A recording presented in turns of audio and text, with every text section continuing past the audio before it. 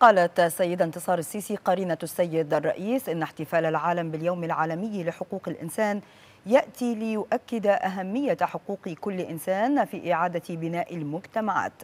وأضافت في تدوينة لها على مواقع التواصل الاجتماعي إن الدولة المصرية استطاعت خلال الفترة الأخيرة ترسيخ أهم المبادئ الأساسية لحقوق الإنسان بتوفير حياة كريمة لكل المصريين وتحقيق التنمية المستدامة في مختلف المجالات.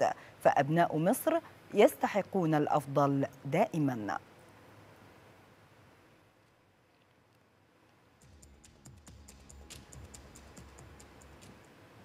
قالت سيدة انتصار السيسي قرينة السيد الرئيس إن الاحتفال بالعالم اليوم باليوم العالمي لحقوق الإنسان يأتي ليؤكد أهمية حقوق كل إنسان في إعادة بناء المجتمعات.